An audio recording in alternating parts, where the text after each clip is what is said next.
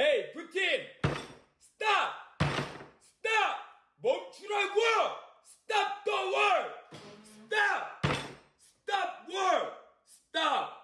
Putin! Stop! Добрый вечер, друзья. Не добрый вечер вам, не друзья.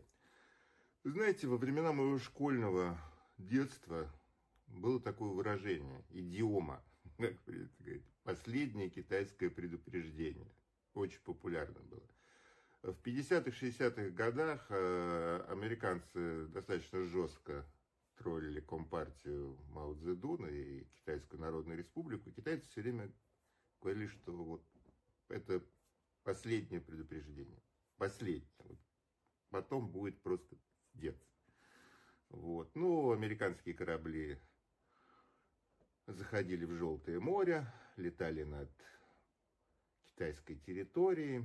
Американцы поддерживали, сейчас поддерживают Тайвань. И я сейчас даже вот не поленился, заглянул в Википедию, э, по тысячу таких последних китайских предупреждений было сделано китайцам. Вот, и я помню, у нас во дворе такой был здоровый рыжий Сева. Сева. Он говорил, что он боксом занимается. И каждый раз, когда кто-нибудь из пацанов давал ему люлей, он говорил, что вот это все. Ну вот это вот в следующий раз, если вот такое повторится, ну точно. Вот красная линия. Вот красная просто линия. Каждый раз, когда вижу нашу прекрасную исполнительницу зажигательных танцев Марию Захарову и сурового пиарщика харизматичного с толстым голосом прокуренного Сергея Лаврова, когда они говорят про красные линии, вот эти вот, я всегда вспоминаю Севу, рыжего Севу. Не, не знаю, не помню, что с ним стало. Но вот он последние китайские предупреждения раздавал. Все над ним ржали. Все над ним ржали. Вот китайская армия одна из самых мощных, одна из самых многочисленных. Но она не воевала давно уже. Здесь Владимир Вольфович Жириновский прав. Американская армия чем хороша и сильна? Они постоянно по режиме нон-стоп воюют. С окончания Второй мировой каждый год они либо там, либо сям. У них есть эти ЧВК. У них постоянный опыт боевой. У нас вроде бы тоже, в общем, и первая, и вторая Чечня была, Сирия недавно. Вот, но если армия не имеет боевой опыт, она не боеспособна. Вот. И как-то хотелось бы все-таки поставить точку в этой череде вот этих всяких полуугроз насчет красных линий. Чтобы вот эти красные линии не стали бы последними китайскими предупреждениями 21 века. Потому что я посмотрел, даже в эстонском языке есть такое выражение. Так Википедия пишет. Про последнее китайское предупреждение. Сколько можно рисовать эти линии? То есть нормально, наверное, можно рисовать, как китайцы рисуют. Просто они ведь красные, потому что кровью рисуются. Мария Захарова станцевала рок-н-ролл на корпоративе МИДа на высоких каблуках. Официальный представитель Министерства иностранных дел на личном примере продемонстрировала, как нужно веселиться. Официальный представитель МИД РФ Мария Захарова зажигательно станцевала рок-н-ролл на официальном корпоративе ведомства. Перед присутствующими чиновница предстала в коротком платье и высоких, но достаточно устойчивых каблуках. Подписчики, впрочем, отметили, что несмотря на всю внушительность конструкции, танцевать на такой высоте все равно достаточно проблематично из-за страха упасть. Саму Захарову высота каблука не смутила. Мария с душой вложилась в каждое движение. К тому же привлекла к веселью и своего заместителя. Официальный представитель и заместитель официального представителя открывают корпоратив. Департамента информации и печати МИД России. «Ударно работаем, ударно отдыхаем», сопроводила она видео подписью. Отметим, что Захарова не впервые демонстрирует свою страсть к танцам. Так публика прекрасно помнит зажигательное веселье Марии на приеме для журналистов в Сочи в 2016 году. Тогда официальный представитель оторвалась под калинку на высоких каблуках.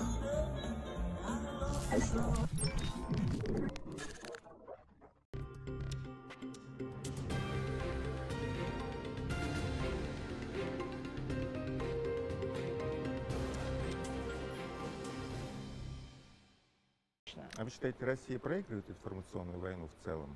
Я думаю, что а, если бы это было так, это не вызывало бы такой агрессии со стороны Запада. Mm-hmm. То есть не было бы все новых и новых а, провокаций и не укреплялись бы настолько а, натовские ряды, не создавались бы новые подразделения по борьбе с российской, как они называют, информационной агрессией. Они просто не ожидали, что мы сможем наверное, отвечать, и отвечать так, чтобы они слышали и понимали. Вот вы привели, пожалуйста, пример а, с а, странным, глупым заявлением а, игрока хорватской сборной. Я думаю, что еще, наверное, пару лет назад люди бы, возможно, и не стали реагировать таким образом, как они отреагировали. Это тоже та часть, а, ну, наверное, какой-то информационной составляющей, а, которая, э, в которой и люди сами должны проявлять активность. Это не только государство, которое должно все время выходить и говорить, озвучивать свою позицию, а, но это и люди, которые понимают, что они являются теми же самыми, как модно сейчас говорить, акторами, да, mm-hmm. участниками информационной дискуссии. И от их конкретного слова много что зависит. Mm-hmm.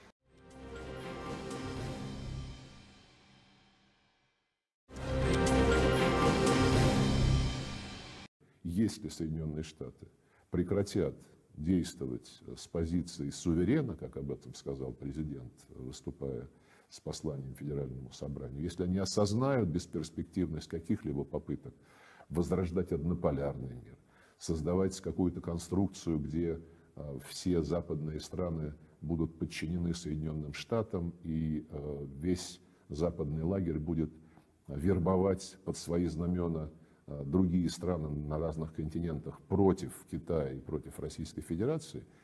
И если США все-таки э, поймут, что не зря записаны в уставе ООН такие принципы, как уважение суверенитета, территориальной целостности, невмешательство в внутренние дела и э, суверенное равенство государств, и просто выполнят свои уставные обязательства и будут вести диалог с нами, как и с любой другой стороной, взаимоуважительно – на основе э, баланса интересов, который должен быть найден.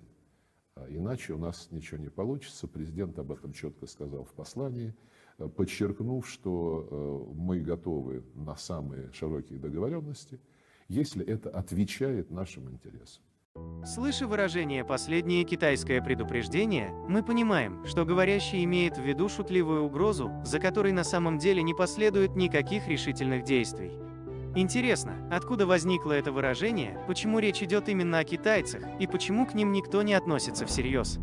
Значительно более развитые военно-воздушные силы американцев беспрепятственно посещали Тайвань и совершали разведывательные полеты над территорией Китая.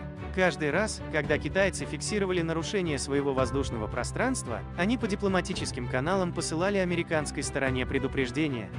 В конец концов, таких предупреждений накопились сотни. Американцы давно перестали обращать на них какое-либо внимание. В итоге последние предупреждения китайского правительства без каких-либо последствий превратились в крылатое выражение, известное как «последнее китайское предупреждение».